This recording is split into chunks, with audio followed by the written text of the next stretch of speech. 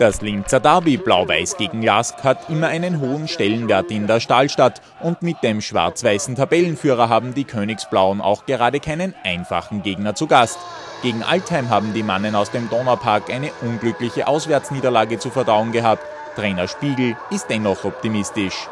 Ja, und für sich trotzdem locker. Man soll den, den Zügel dann nicht überspannen und da immer alles nur negativ sehen. Das ist eine herrliche Kulisse, es taugt mir. Die Schwarz-Weißen sind der Wellenführer. Was gibt Generes? Man kann null verlieren. Wir spielen zu Hause, wir sind zu Hause am Macht. Dementsprechend werden wir agieren. Die Vormachtstellung im Donaupark haben die Blau-Weißen ja bereits des Öfteren bewiesen, auch wenn es zuletzt nicht ganz nach Wunsch lief. Aufgrund der Sperre von Christian Meyerlieb können die Lask-Amateure nicht aus einem top besetzten Kader schöpfen, sind aber dennoch für dieses Derby hoch motiviert. Blau-Weiß hat sich den Meistertitel als Ziel gesetzt und will aufgrund eines nicht optimalen Saisonstarts gegen den Tabellenführer drei wichtige Punkte holen. Diese Entschlossenheit ist auch von der ersten Spielminute an deutlich zu erkennen. Hier setzt Ertan Götzin seinen Schuss jedoch neben das Tor von Christian Holzer. In Minute 39 verletzt sich Benjamin Freudenthaler bei diesem Foul an der Schulter und wird durch Elvis Polic ersetzt. Nachdem die erste Spielhälfte wirklich ausgeglichen verlaufen ist, können die Lask-Amateure in Minute 44 durch diesen Treffer von Sinisa Markovic mit 1 zu 0 in Führung gehen. Ein Pausenstand, der Erwin Spiegel nun zum Handeln zwingt. Er bringt in der zweiten Spielhälfte anstelle von Edis Delic Christian Sommereder ins Spiel.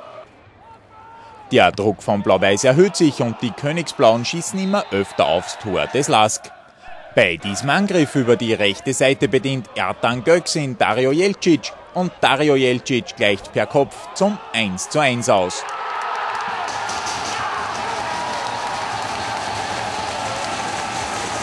Zehn Minuten nach dem Treffer zum 1 zu 1 können die Lask-Amateure einen Fehler der Blau-Weiß-Verteidiger nutzen und Oliver Stadelbauer stellt auf 2 zu 1 für den Lask.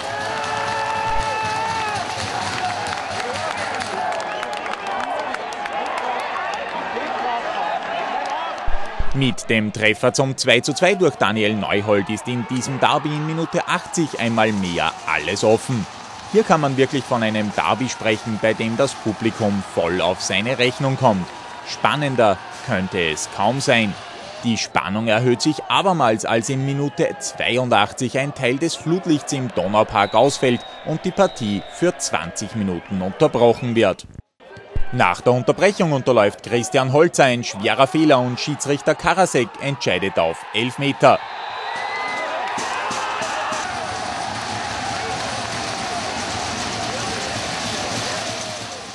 Dario Jelcic tritt an und schießt zum 3 zu 2 ein.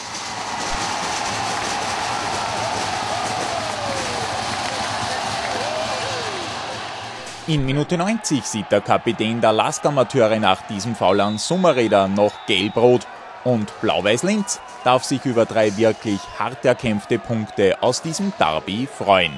Auf jeden Fall. Ich meine, alleine wenn man sich das Publikum anschaut, dann, dann muss man einfach mehr geben als normale Fußballer. Und also wir sind sehr froh, dass wir das jetzt geschafft haben, dass wir die drei Punkte geholt haben. Und jetzt äh, wollen wir auf jeden Fall angreifen. Ja, wir haben gewusst, dass es schwer wird, das ist keine Frage. Und wir waren ja zweimal eigentlich äh, in Führung und haben vergessen, den Sack zuzumachen. Und äh, wir hatten ja die Chancen und ich glaube, ähm, letzten Endes äh, haben wir uns selbst geschlagen. Aber im Großen und Ganzen kann ich mit der Mannschaft zufrieden sein. Ein Auswärtsspiel hier ist sicher nicht, so leicht. Und ähm, wie gesagt, wir hätten auch gewinnen können, so blöd es klingt. Mit Gerald Perzi ist ein Mann in den Donaupark zurückgekehrt, den viel mit diesem Verein verbindet, der aber auch der Mannschaft viel bedeutet.